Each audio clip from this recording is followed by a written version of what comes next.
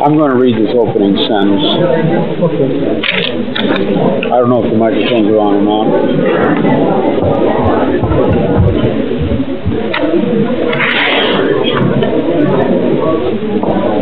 Are the microphones on?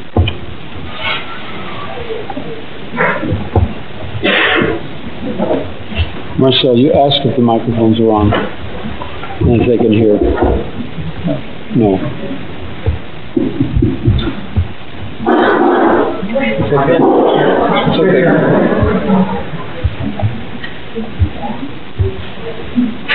May I tell you how much I appreciate your asking me to share some of my ideas with you? The title of my address is If You Find This World Bad, You Should See Some of the Others. I would like to confess that I've been asked to cut about two thirds of my speech out and deliver as short a speech as possible. Upon examining my speech, I find that it is very easy to remove two thirds without doing any injury to it. I even considered cutting three thirds out of it, but uh, there was some trouble, so I abandoned that idea. The subject of this speech is a topic which has been discovered recently and which may not exist at all. I may be talking about something that does not exist. Therefore, I'm free to say everything or nothing. I can hardly make an error if there is no such thing as orthogonal time. Orthogonal or right angle time is the topic of my speech. We are accustomed to supposing that all change takes place along the linear time axis from past to present to future. The present is an accrual of the past and is different from it. The future will accrue from the present on and be different yet. That an orthogonal or right angled time axis could exist, a lateral domain in which change takes place, processes occurring sideways in reality, so to speak, this is almost impossible to imagine. How would we perceive such lateral changes? What would we experience? What clues, if we are trying to test out this bizarre theory, should we be on the alert for? In other words, how can change take place outside of linear time at all, in any sense, to any degree? Let me present you with a metaphor. Let us say that there exists this very rich patron of the arts. Every day on the wall of his living room above his fireplace, his servants hang a new picture, each day a different masterpiece, day after day, month after month. Each day the used one is removed and replaced by a different and new one. I shall call this process change along the linear axis. But now let us suppose the servants temporarily running out of new replacement pictures. What shall they do in the meantime? They can't just leave the present one hanging their employer has decreed that perpetual replacement, that is to say, changing the pictures, is to take place.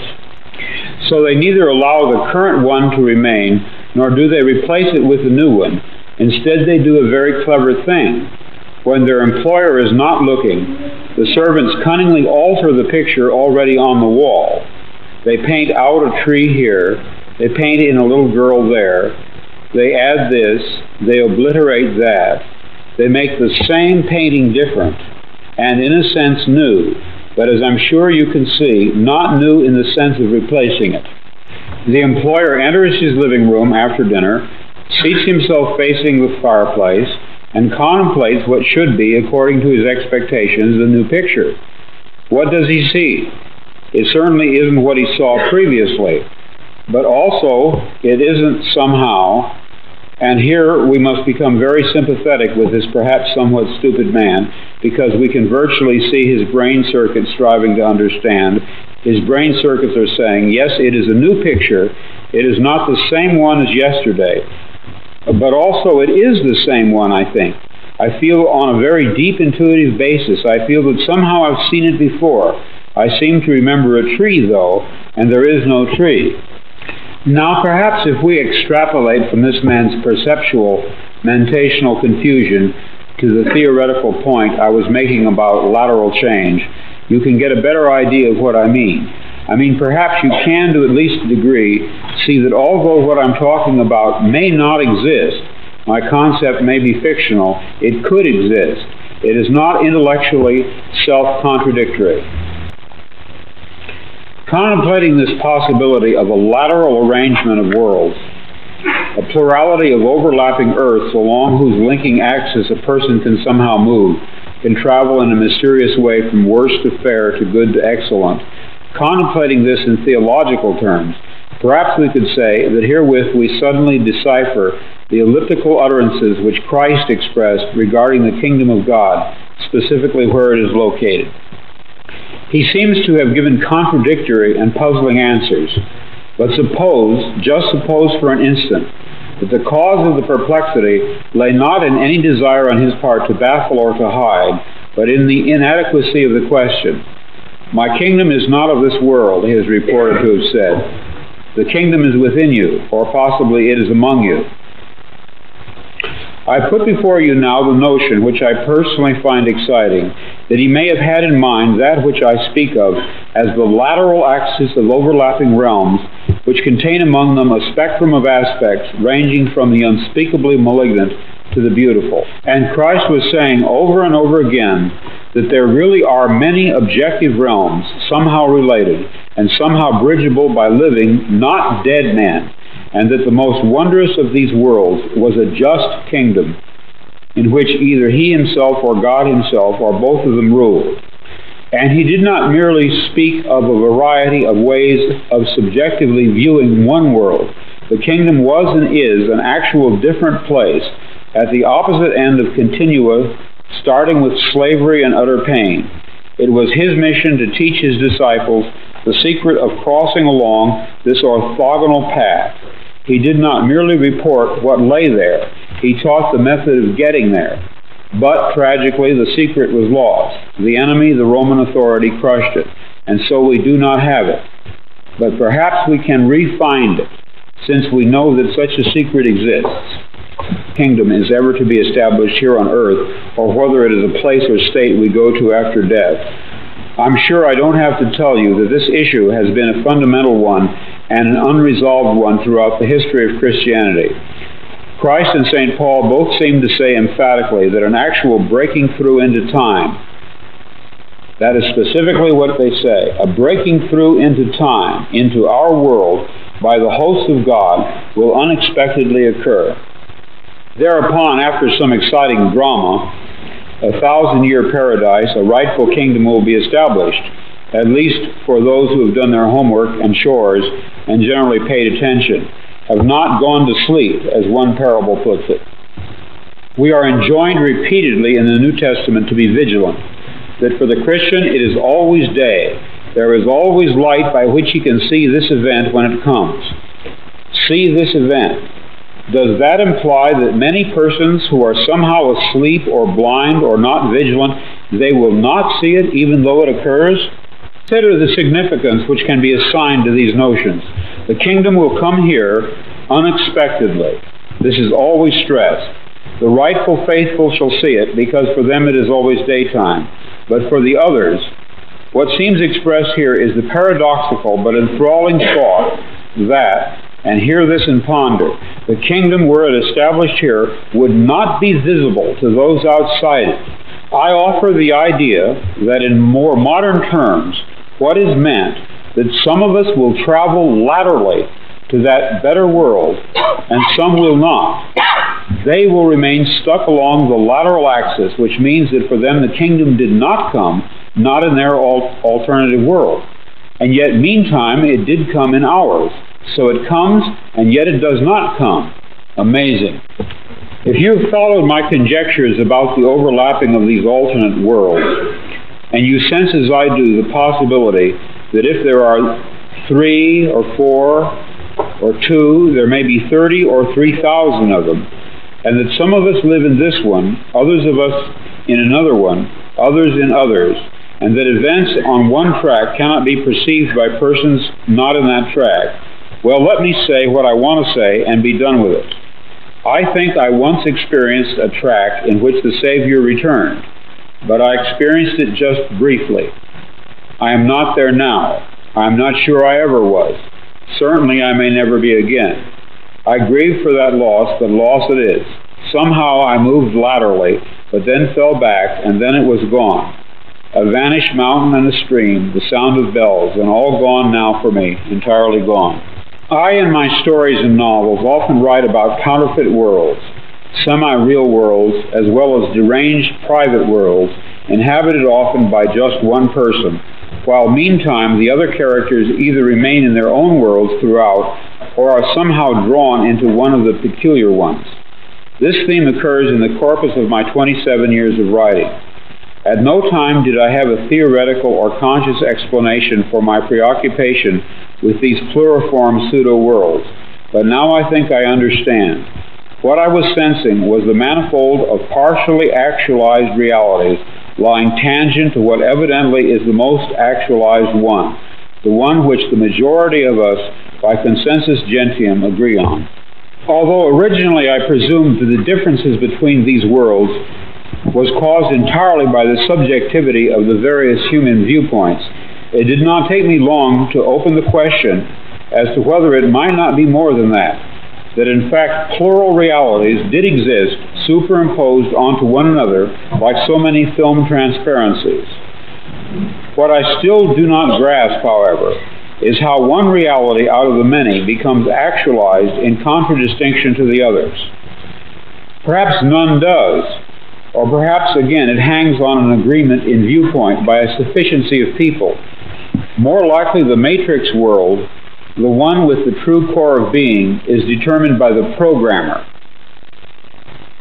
He or it articulates, prints out, so to speak, the matrix choice and fuses it with actual substance, the core or essence of reality, that which receives or attains it, and to what degree.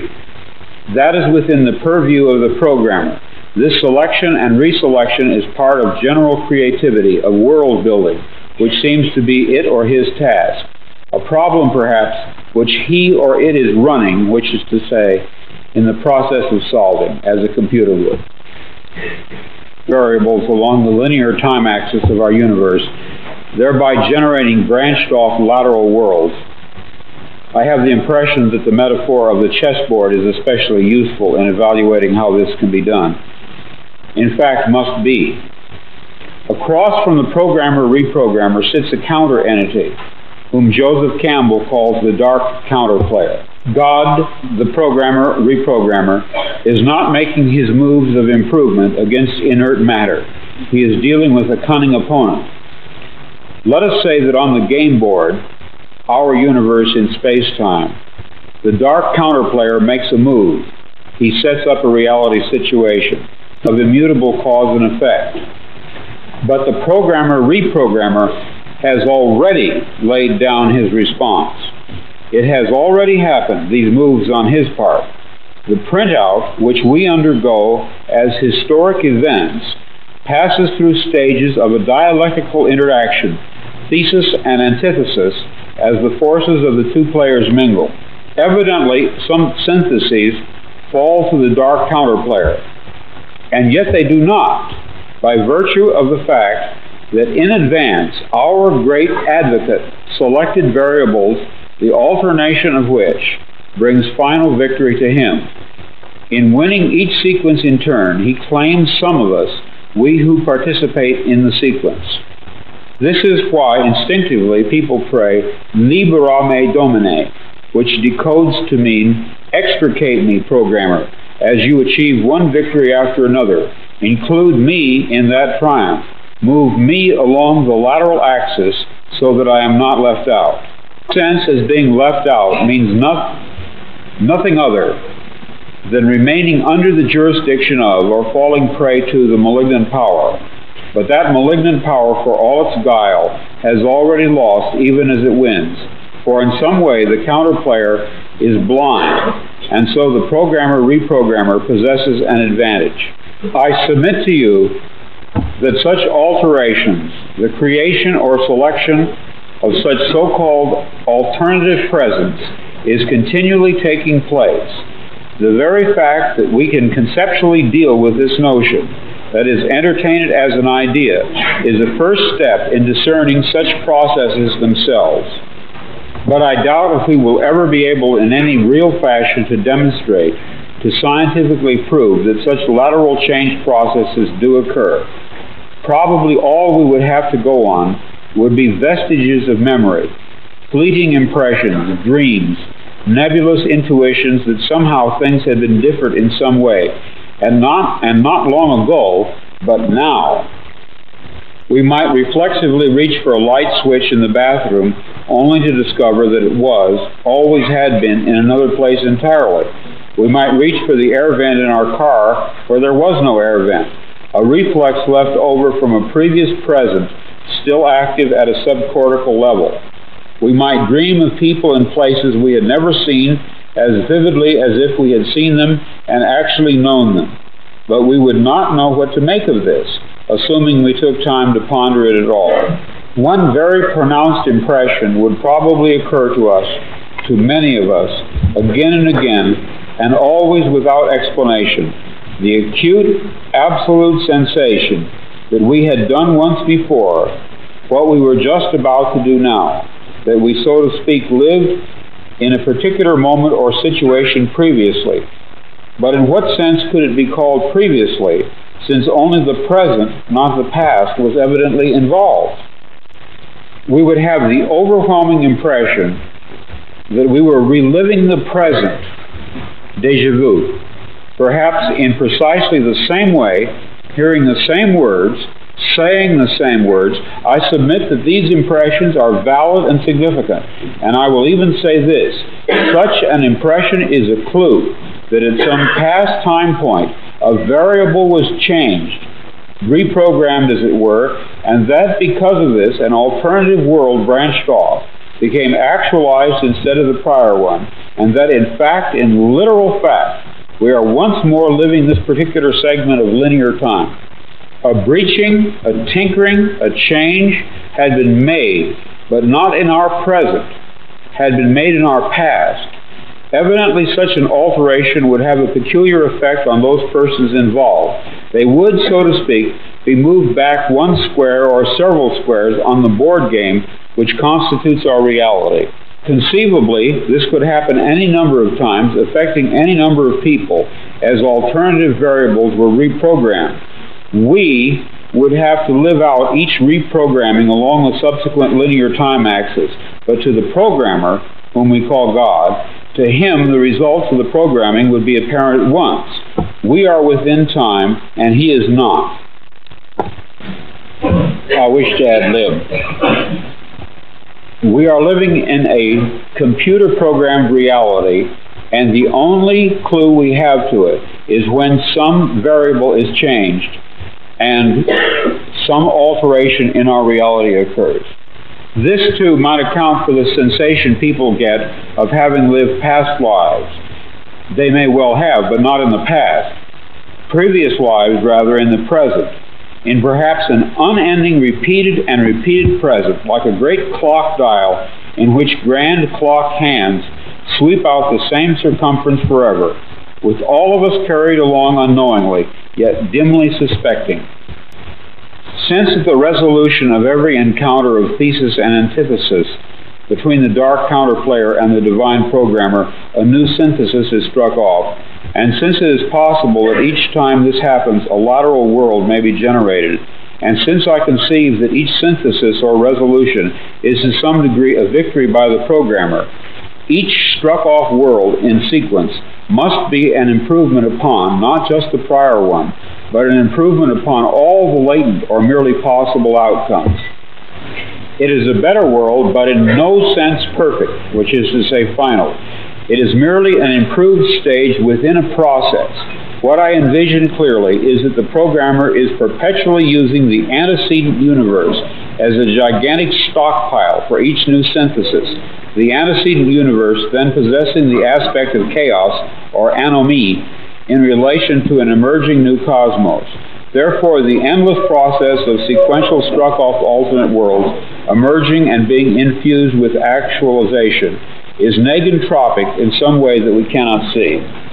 What we need at this point is to locate, to bring forth as evidence, someone who has managed somehow, it doesn't matter how, to retain memories of a different present, latent alternate world impressions, different in some significant way from this, the one which is at this stage actualized. According to my theoretical view, it would almost certainly be memories of a worse world than this.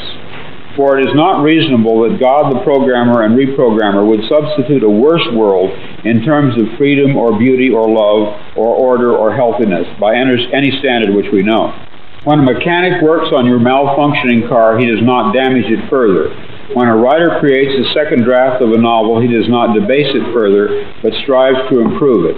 I suppose it could be argued in a strictly theoretical way that God might be evil or insane and would in fact substitute a worse world for a better one. But frankly, I cannot take that idea seriously. Let us pass that over.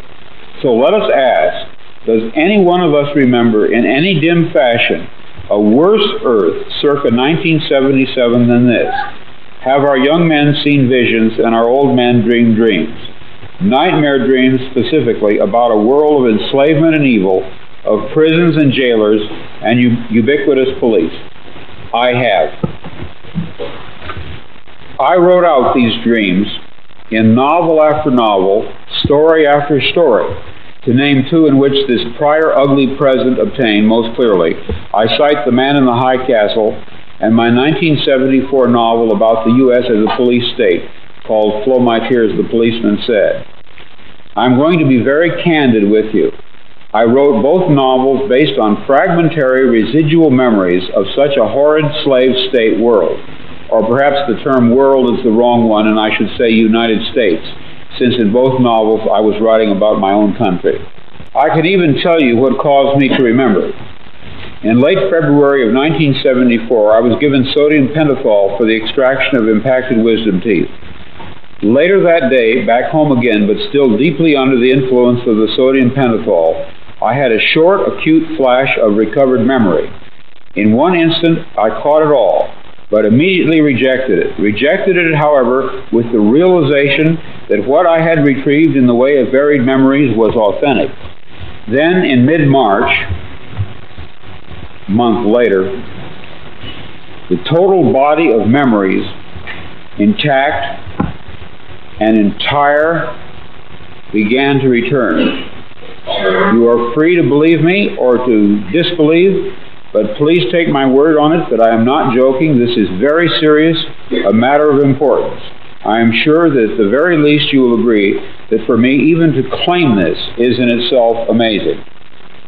People claim to remember past lives. I claim to remember a different, very different present life. I know of no one who has ever made this claim before, but I rather suspect that my experience is not unique what perhaps is unique is the fact that I am willing to talk about it. If you have followed me this far, I would like you to be kind enough to, to go a little further with me. I would like to share with you something I knew that is retrieved along with the blocked off memories. In March of 1974, the reprogrammed variables tinkered with back at some earlier date, probably in the late 40s, in March of 1974, the payoff, the results of at least one and possibly more of the reprogrammed variables lying along the linear timeline of our past set in. What happened between March and August of 1974 was the result of at least one reprogrammed variable laid down perhaps 30 years before, setting into motion a thread of change which culminated in what I am sure you will admit was a spectacularly important and unique historical event the forced removal from office of a President of the United States, Richard Nixon, as well as all those associated with him. In the alternative world which I remembered, the civil rights movements, the anti-war movements of the 60s had failed, and evidently, in the mid-70s, Nixon was not removed from power. That which deposed him, if anything indeed existed that, did, that did oppose him or could oppose him, was inadequate. Therefore, one or more factors tending toward that destruction of the entrenched tyrannical power had retroactively to us come to be introduced. The scales, 30 years later, in 19, it had been 2,000 years ago at its inception.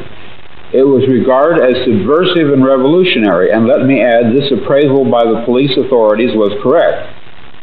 It took me almost two weeks after the return of my memories of my life in Track A to rid myself of the overpowering impression that all references to Christ, all sacerdotal acts, had to be veiled in absolute secrecy. But historically, this fits the pattern of a fascist takeover, especially those along Nazi lines. I also would like to tell you, if, if you have followed me this far, to accept my statement about my other memories under the sodium pentothal which returned. That world was a prison. It was dreadful. We overthrew it, just as we overthrew the Nixon tyranny, but it was far more cruel, incredibly so, and there was a great battle and loss of life. It was in February of 1974 that my blocked off memories of Track A returned, and it was in February of 1974 that my novel, Flow My Tears, the Policeman Said, was released finally after two, two years' delay. It was almost as if the release of the novel, which had been delayed so long, meant that in a certain sense it was all right for me to remember. That is, to remember that the book was not fiction. The book was based on subliminal memories which I had of such a world. But perhaps until the book was actu- actually released, it was better that I did not remember. Why that would be, I do not know. But I have the impression that the memories were not to come to the surface until the material had been published very sincerely on the author's part as what he believed to be fiction. Perhaps, had I known, I would have been too frightened to write the novel. As it was, I was very frightened anyway. There was something about the novel that frightened me a great deal. Or perhaps I would have just shot off my mouth and told everybody and somehow interfered with the effectiveness of that book and such other books of mine as Man in the High Castle, which were also based on residual memories. The effectiveness of those novels might have been impaired. I do not even claim there was an intended effectiveness. Perhaps there was none at all. But if there was one, and I repeat the word if emphatically, it was almost certainly to stir subliminal memories in readers back to dim life, not a conscious life, not an entering consciousness as in my own case, but to recall to them on a deep and profound, albeit unconscious level, what a police tyranny is like and how vital it is now or then, at any time, along any time track, in any world, to defeat it. In March of 1974, the really crucial moves to depose Nixon were beginning. In August, five months later, they proved successful. It seems to me that in many ways, ideas have a life of their own. They appear to seize on people and make use of them. The idea which seized me 27 years ago and never let go of me is this. Any society in which people meddle in other people's business is not a good society, and a state in which the government, quote, knows more about you than you know about yourself, as it is expressed in my novel Flow My Tears, the policeman said, is a state which must be overthrown. It may be a theocracy, a fascist corporate state, or reactionary monopolistic capitalism or centralistic socialism. That aspect does not matter. And I am saying not merely it can happen here, meaning the United States, but rather it did happen here, meaning the United States. I remember I was one of the secret Christians who fought it and at least to some extent helped overthrow it. And I am very proud of that. Proud of myself in Time Track A. When, you, when I use the word Christian there, I do not mean Christians as they are now. I mean Christians as they were, say, 2,000 years ago, enemies of a powerful empire. When I saw Star Wars this morning, I thought to myself, deja vu. There is, unfortunately, for me, a somber intimation which accompanies my pride in the work that I did in that alternate earth. I think that in that previous world, I did not live past March of 1974. In this track here, which I will call track B, we fought a much lighter tyranny, a far stupider one. Or perhaps we had assistance, the anterior reprogramming of one or more historical variables came to our rescue. Sometimes I think, and this is of course pure speculation, a happy fantasy of my soul, that because of what we accomplished there, or anyhow attempted to and very bravely, we who were directly involved were allowed to live on here, past the terminal point which brought us down that other worse world. It is a sort of miraculous kindness.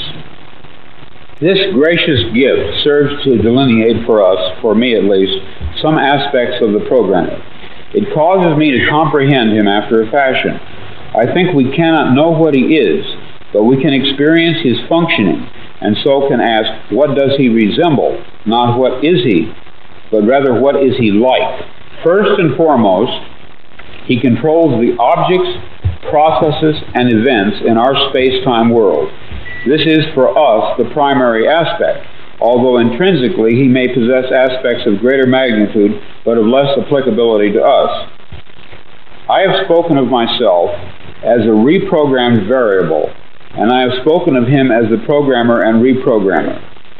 During a short period of time in March of 1974, at the moment in which I was re-synthesized, I was aware perceptually, which is to say, aware in an external way of his presence. At that time, I had no idea what I was seeing. It resembled nothing that I had ever heard described. It resembled plasmic energy. It had colors. It moved fast. It collected and then dispersed. But what it was, what he was, I am not sure even now. Except I can tell you that he had simulated normal objects and their processes so as to copy them and in such an artful way as to make himself invisible within them. As the Vedantas put it, he is the fire within the flint, the razor within the razor case. Later research showed me that in terms of group cultural experience, the name Brahman has been given to this omnipresent, immanent entity. One thing I really want you to know I am aware that the claims I am making, claims of having retrieved buried memories of an alternate present, and to have perceived the agency responsible for arranging that alternation, these claims can neither be proved nor can they be even made to sound rational in the usual sense of the word. It has taken me over three years to reach the point where I am willing to tell anyone but my closest friends about my experience beginning back at the vernal equinox of 1974. One of the reasons motivating me to speak about it publicly at last, to openly make this claim, is a recent encounter I have undergone, which, by the way, bears a strange resemblance to Hawthorne Abendsen's experience in my novel The Man in the High Castle with the woman Juliana Frink. Juliana read Abendsen's book about a world in which Germany and Japan and Italy. Now, this is a little difficult if you haven't read the book, but he wrote a novel in which Germany, Italy, and Japan lost World War II. And he was living in a world in which they had won World War II. Juliana read Abendsen's book about a world which the Axis lost, and she felt she should tell him what she comprehended about the book. In other words, that his novel was true. Now, this final scene in Man in the High Castle has been the source for a similar scene in my later story, Faith of Our Fathers, where the girl Tanya Lee shows up and acquaints the protagonist with the actual reality situation, which is to say that much of his world is delusional and purposefully so. In other words, it's a common theme in my writing that a dark haired girl shows up at the door of the protagonist and tells him that his world is delusional, that there's something false about it. Now, in Man in the High Castle, the situation is ironically reversed. The girl that comes to the door tells an author that his book of fiction is true. For several years, I have had the feeling, a growing feeling, that one day a woman who would be a complete stranger to me would contact me and tell me that she had some information to impart to me, and then she would appear at my door just as Juliana appeared at Hawthorne Abendsen's door, and that forthwith, in the gravest possible way, she would tell me exactly what Juliana told Abendsen, and that is that my book, like his, was in a certain real, literal, and physical sense not fiction but the truth. Well, this did finally happen to me. I even knew that her hair would be black. I had an actual complete sense of what she would look like and what she would say. Door. And I'm speaking of a woman who had systematically read every single novel of mine, which is more than 30 novels, as well as many of my stories. She did appear. She was a total stranger, and she did inform me of this fact that some of my fictional works were, in a literal sense, true. Now, I had posited in 1974, when my memories of this alternate world came back, that if these memories were authentic, that it was only a matter of time before a contact, a cautious, guarded probing by someone would occur, initiated by a person who had read my books and for one reason or another deduced the actual situation. I mean, knew what the significant information was which the books and stories carried. Now, this woman knew from my novels and stories which world I had experienced, which of the many.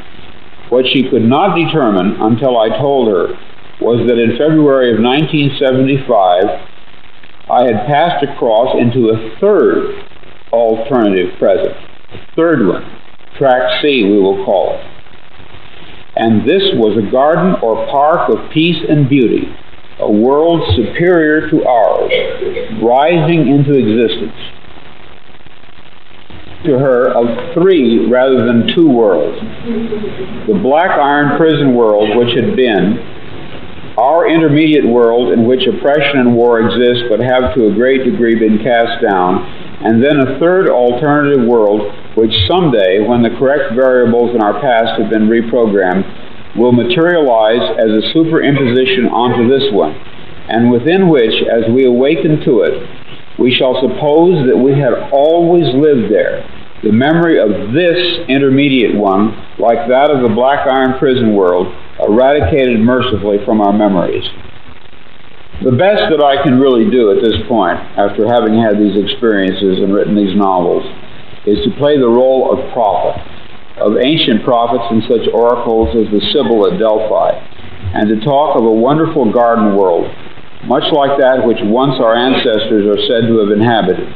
In fact, I sometimes imagine it to be exactly that same world restored as if a false trajectory of our world will eventually be fully corrected, and once more we will be where once many thousands of years ago we lived and were happy. During the brief time I walked about in that garden world, I had the strong impression that it was our legitimate home which somehow we had lost. The time I spent there was short, about six hours of real elapsed time, but I remember it well. In the novel I wrote with Roger Zelazny, Deus Irae, I describe it toward the end, at the point where the curse is lifted from the world by the death. What's amazing to me about this park-like world, this track C, was the non-Christian elements forming the basis of it. It was not what my Christian training had prepared me for at all. Even when it began to phase out, I still saw sky, I saw land and dark blue smooth water, and standing by the edge of the water, a beautiful nude woman whom I recognized as Aphrodite. At that point, this other better world had diminished to a mere landscape beyond a golden rectangle doorway. The outline of the doorway pulsed with laser like light, and it all grew smaller and was at last, at last gone from sight. The three point, the three to five doorway, devouring itself into nothingness sealing off what lay beyond.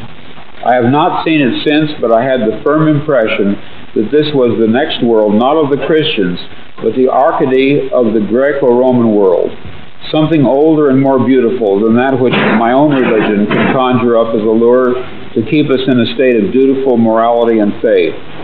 What I saw was very old and very lovely.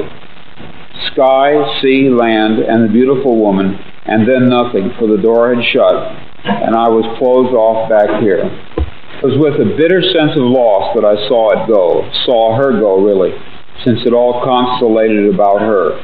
Aphrodite, I discovered when I